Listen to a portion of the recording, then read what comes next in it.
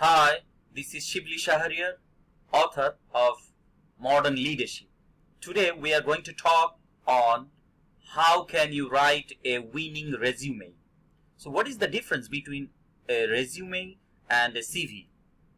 তো রেজিউমে এবং সিভির মধ্যে পার্থক্য কি আজকে আমরা জানব সো আজকের বিষয়বস্তু আমরা জেনে নেই আজকের যে বিষয়বস্তু সেটা হচ্ছে রাইটিং উইনিং রেজিউমে আমি আমার পরিচয় দিচ্ছি তো how to prepare your resume তো প্রথমেই বলে নিচ্ছি যে রেজিউমে হচ্ছে একটা অ্যাপ্লিকেশন বা ডেসক্রিপশন একটা ক্যান্ডিডেটের latest qualifications skills and abilities এর।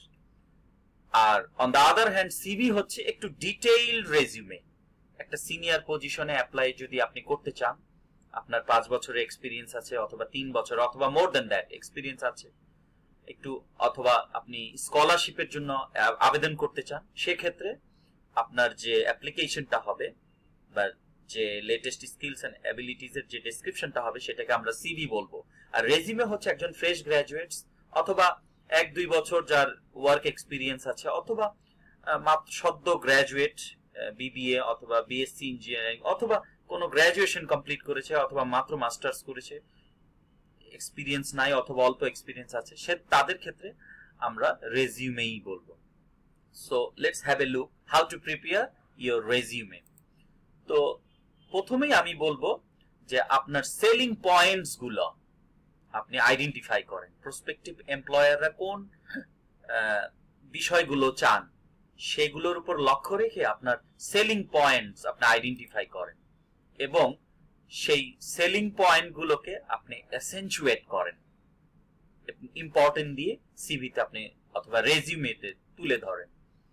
এরপরে বলব আমি যে আপনার রেজিউমেটা অবশ্যই এক দুই পেজের বেশি হবে না এবং A four size paper use করবেন এবং অ্যাটলিস্ট এক ইঞ্চি মার্জিন চারদিকে দিবেন আপনি। তারপরে আপনি সেই রেজিউমেটাকে টেইলার করবেন। আসলে আমরা অনেকেই আমরা একটা সিভি বা রেজিউমে করি, তাও আবার অনেক ক্ষেত্রে কপি পেস্ট করি। সেটা কোনোভাবেই কপি পেস্ট করা যাবে না। কারণ আপনি যখন কোনো চাকরির জন্য অ্যাপ্লাই করবেন, যেই পজিশনের জন্য অ্যাপ্লাই করবেন, সেই পজিশনের কেরিয়ার অবজেক্টিভের সাথে মিলিয়ে আপনার রেজিউমের কেরিয়ার অবজেক্টিভ অথবা জব অবজেক্টিভটা লিখতে হবে। সেই জন্য আমি বলব, একাধিক সেটস অফ রেজিউমে এবং সিভি করাই ভালো। So so highlight skills and experience that are most relevant to it, to the job. Position your strongest selling points on top, on the top half of the first page. আর আমরা অনেকে job description দেই resume অথবা সিভিতে job description না দিয়ে আপনার যে অ্যাচিভমেন্টসগুলা, সেগুলো আপনি দেওয়ার চেষ্টা করেন এবং সেগুলোকে কোয়ান্টিফাই করেন। এখানে লেখা আছে, দেখেন আপনারা reduced operating costs by thirty percent increase sales by seventy percent অথবা ফিগার দিয়ে দেন আপনি, যে led a team of thirty people conducted fifty workshops on selling yourself or branding yourself টাইটেলটা দিয়ে দেন আপনি। তো আপনি কোয়ান্টিফাই যদি আপনার অ্যাচিভমেন্টগুলো করেন, তাহলে এমপ্লয়াররা ইজিলি আপনাকে, আপনার স্কিলস আপনার যে অ্যাবিলিটিস ইজিলি বুঝতে পারবেন। এরপরে আপনি দেখেন যে use past tense to describe your work experience এবং প্রেজেন্ট টেন্স ইউজ করবেন আপনার কারেন্ট জবের ক্ষেত্রে। এবং সিভিতে কখনোই বা রেজিমেতে কখনো আই মাই এই পার্সোনাল প্রোনাউন্স ইউজ করবেন না। কিন্তু সেটা কাভার লেটারে আপনি ইউজ করতে পারেন।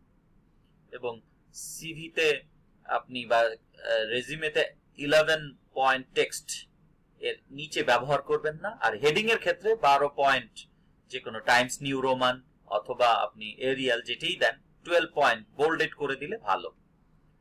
এখন এখানে আমরা একটা কাভার লেটার দেখতে পাচ্ছি। কাভার লেটারে প্রথমে আপনি খেয়াল করেন, যিনি ক্যান্ডিডেট তার ছোট্ট করে একটা অ্যাড্রেস তারপরে তার যে যেখানে উনি অ্যাপ্লাই করছেন, সেই সেই অ্যাপ্লিকেশন ডেট তারপরে যাকে অ্যাপ্লাই করছেন, সম্বোধন করছেন, তারপরে সাবজেক্ট তারপরে ডিয়ার স্যার ওর ম্যাডাম এবং পুরোটা যেটা লিখেছে সেটাকে আমরা বলছি কাভার লেটার এই কাভার লেটারের আপনি এখানে সেলিং পয়েন্ট কোনটা বলবেন? দেখেন IELTS score seven point five self motivated and creative and diploma in IT এটাকে উনি অ্যাসেন্চুয়েট করেছেন।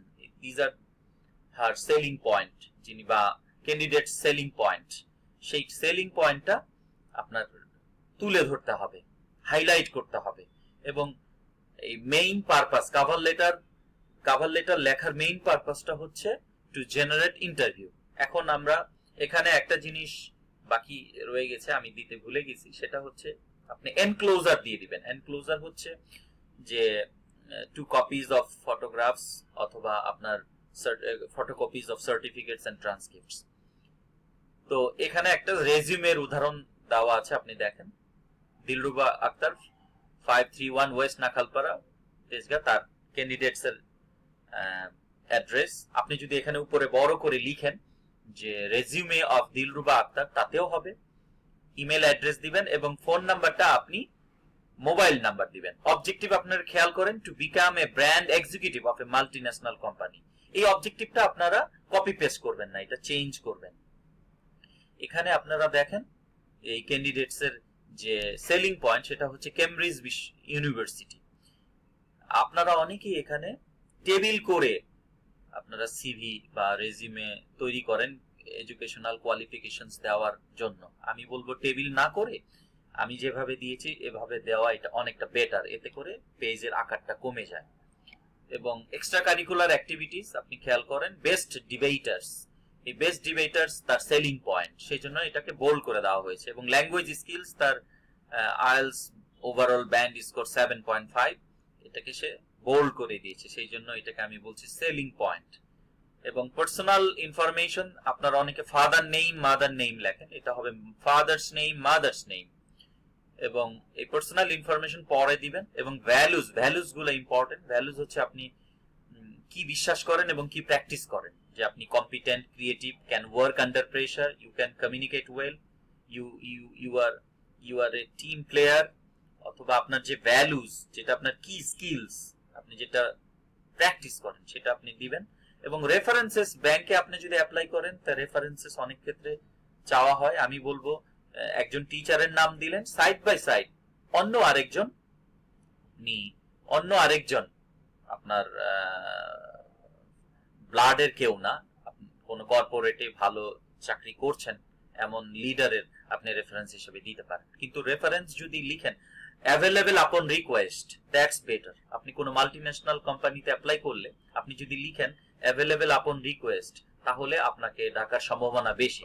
কারণ তারা এমপ্লয়াররা মনে করবে, যে একজন এইচআর হেড মনে করবে যে আপনি নিজের যোগ্যতার উপর একটু কনফিডেন্ট আপনি নিজের যোগ্যতার উপর বিশ্বাস করেন। সেই জন্য আপনি অ্যাভেলেবেল আপন রিকোয়েস্ট এই কথাটা লিখতে পারেন। তো অধিকাংশ ক্ষেত্রে আমি ক্যান্ডিডেটদের দেখি যে তারা কোনো মানুষের উপর ডিপেন্ড করে, যে কোনো জবের ক্ষেত্রে। তো আপনি কোনো মানুষের কাছে বা মানুষের উপর ডিপেন্ড না করে আপনি যদি নিজের অ্যাবিলিটিস নিজের ভ্যালুস নিজের স্কিলস নিজের এডুকেশনাল কোয়ালিফিকেশনস নিজের ক্রেডেন্সিয়ালস এর উপর নির্ভর করেন, তাহলে চাকরি পাওয়ার সম্ভাবনা আপনার অনেক বেড়ে যায়।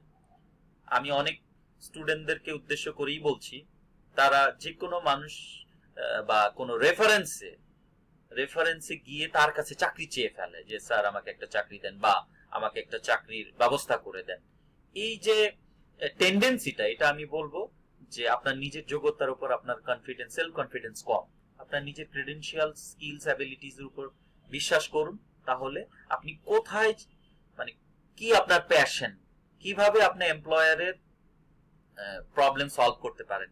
বা কেন why should the company hire you এই প্রশ্নের উত্তর আপনার সেলস স্টোরি আকারে আপনি যদি সাজিয়ে রাখেন, তাহলে they would call you for an interview আবারও বলছি, একটা সিভি বা রেজিউমের মূল পারপাস হচ্ছে টু জেনারেট ইন্টারভিউ এটা দিয়ে কিন্তু চাকরি পাওয়ার যাবে না। এটা আপনাকে ইন্টারভিউ জেনারেট করবে। এই ইন্টারভিউ আপনার যোগ্যতা আপনি প্রমাণ করবেন। তো আজকে এ পর্যন্তই। অন্য কোনো দিন আমি অন্য কোনো বিষয় নিয়ে আপনাদের সামনে আবার উপস্থিত হব।